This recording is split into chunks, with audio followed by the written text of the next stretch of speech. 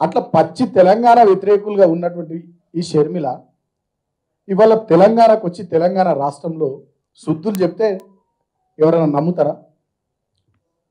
అదేవిధంగా ఒక సంవత్సరం కాలం నుంచి మేము కూడా చూస్తూ ఉన్నాం. సరే తెలంగాణలో కానీ భారతదేశంలో ఎవరైనా పార్టీ పెట్టుకోవచ్చు వాళ్ళ అభిప్రాయాలు వ్యక్తం చేసుకోవచ్చు ఏమైనా మాట్లాడుకోవచ్చు. కానీ మాట్లాడే భాష సంస్కారహీనంగా మాట్లాడకుండా పద్ధతిగా మాట్లాడితే ఎవరైనా ఏమనరు. ఎమ్మెల్యేలను పట్టుకొని ముఖ్యమంత్రి గారిని పట్టుకొని మంత్రులను పట్టుకొని అడ్డగోలుగా షర్మిల మాట్లాడుతున్నది. కొంతమంది షర్మిలకు సంబంధించి ఆడపిల్ల ఆడబిడ్డ అట్లంటారా ఇట్లంటారా? షర్మిల మాట్లాడే భాష ఆడపిల్లలు మాట్లాడే భాషన? షర్మిల అనేట ఒక ఆడబిడ్డలాగా మాట్లాడుతుందా?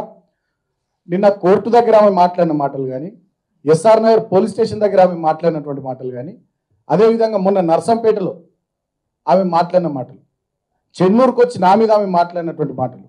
నర్సంపేటలో ఏమన్నది మా ఎమ్మెల్యేని పట్టుకొని నీకు మగతనం ఉందా అని మాట్లాడుతుంది ఒక ఆడపిల్ల మాట్లాడే మాట నాది. అదేవిధంగా నా దగ్గరకు వచ్చి చెన్నూరులో అడ్డగోలుగా నా మీద మూడు రోజులు మాట్లాడింది. మా కార్యకర్తలంతా తంతమని చెప్పి రెడీ అయితే మా యూత్ అంతా నేను ఆపలేక తలబట్టుకున్నా ప్రామిస్ చెప్తున్నా. ఆపలేక మూడు రోజులు నేను చాలా ఇబ్బందులు పడ్డా. అట్లా చాలా మంది ఎమ్మెల్యేలు కూడా మా కార్యకర్తలను ఆపుకొని ఎక్కడ కూడా ఏం జరగకుండా ఓపిక పట్టిన.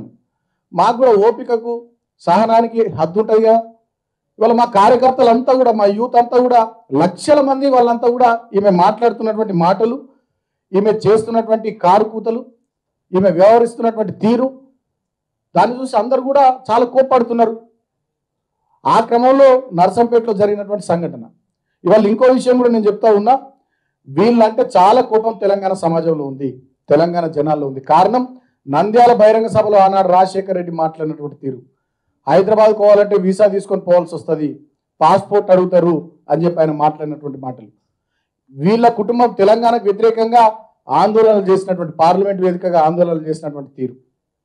అదేవిధంగా వీళ్ళు అయ్యి అధికారాన్ని అడ్డు పెట్టుకొని ఈమె ఈమె భర్త బయ్యారం గనుల్ని వీళ్ళు అయ్యి అధికారాన్ని అడ్డం పెట్టుకొని దోచుకోవాలని ప్రయత్నించినటువంటి తీరు.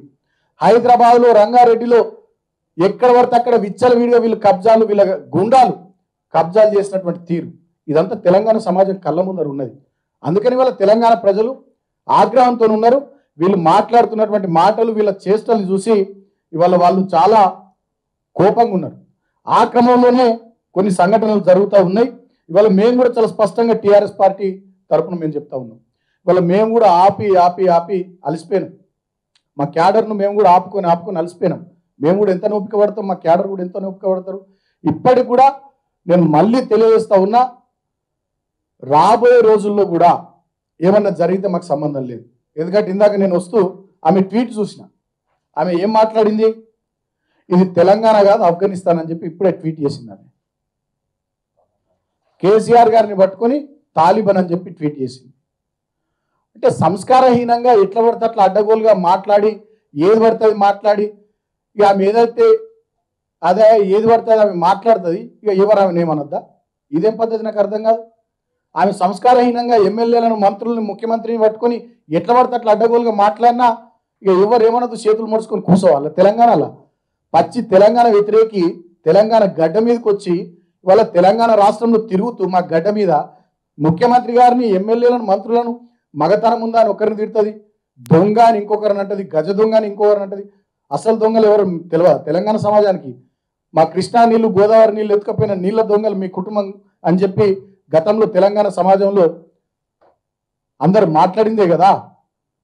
ఇవాళ మీరు వచ్చి తెలంగాణలో ఎమ్మెల్యేలను పట్టుకొని మంత్రులను పట్టుకొని అడ్డగోలుగా మాట్లాడుతున్నటువంటి తీరు డెఫినెట్గా తెలంగాణ సమాజం ఇష్టపడతలేదు.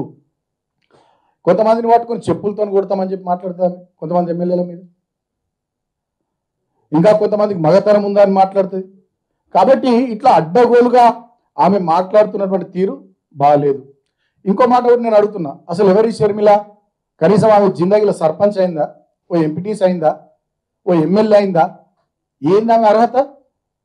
అసలు ఆమెకి ఏం తెలుసు? తెలంగాణ సమాజం తెలంగాణ పోరాటం తెలంగాణ ఆరాటం? ఆమెకి ఏం తెలుసు? ఆమెకి ఏం ఎరక? ఇవాళ మేము గడిచిన ఎనిమిది సంవత్సరాలుగా రాష్ట్ర ప్రగతి కోసము రాష్ట్ర పురోగతి కోసము మేము అన్నిటినీ పంటి కింద బిగువన పట్టుకొని ఇవాళ రాష్ట్ర ప్రజానీకం శ్రేయస్సే లక్ష్యంగా మేము పనిచేసుకుంటూ పోతున్నాం. ఇట్లా కొంతమంది వచ్చి మా అటెన్షన్ను డైవర్ట్ చేసేటటువంటి ప్రయత్నం చేసినా మా అటెన్షన్ను డైవర్ట్ కానివ్వకుండా మేము తెలంగాణ రాష్ట్ర ప్రజల సంక్షేమం తెలంగాణ రాష్ట్ర అభివృద్ధి లక్ష్యంగా మా ముఖ్యమంత్రి గారు మా మంత్రులు ఎమ్మెల్యేలు మేము మంచిగా పనిచేసుకుంటూ పోతున్నాం. ఇవాళ కొంతమంది కిరాయి మనుషులను పట్టుకొని షర్మిల లాంటి పరాయి వాళ్ళు తెలంగాణ గడ్డ మీదకి వచ్చి తోలుబొమ్మలాట ఆడతామంటే చూస్తూ ఊరుకోవడానికి తెలంగాణ సమాజం సిద్ధంగా లేదు. వాళ్ళ కుండ బద్దలు కొట్టినట్టు స్పష్టంగా చెప్తున్నాం. ఇక మీ డ్రామాలు మీ మోసాలు మీ జిమ్మిక్కులు ఇవన్నీ కూడా తెలంగాణ సమాజం గమనిస్తున్నాయి. నేను తెలంగాణ ప్రజల్ని కూడా కోరుతా ఉన్నా పరాయి వాళ్ళు వచ్చి ఇక్కడ కిరాయి మనుషులను కిరాయి బృందాలను తీసుకొచ్చి ఆడిస్తున్నటువంటి తోలుబొమ్మలాటల్ని మనం పట్టించుకోవాల్సినటువంటి అవసరం లేదు. తెలంగాణ ప్రజానీకం కూడా ఆత్మ పరిశీలన చేసుకోవాలి. వీళ్ళెవరు? వీళ్ళు ఎన్నుకున్నది ఎవరు?